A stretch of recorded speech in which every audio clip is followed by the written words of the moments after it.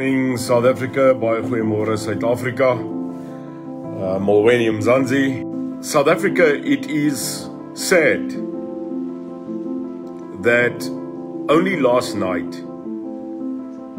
the president of this country, the so-called number 1 citizen leader of this government and no doubt the leader of the governing party, the African National Congress, decided to make only an appearance on a Sunday after, in actual fact, six days this country meticulously, slowly, but categorically clearly started to burn.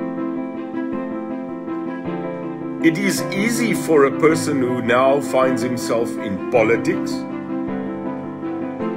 to go into the normal frame of mind where we do what we call opposition blue and white politics.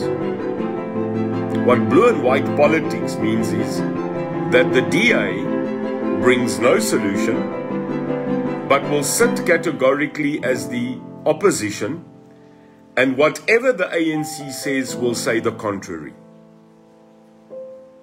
This is blue and white politics, and that kind of politics gets you absolutely nowhere.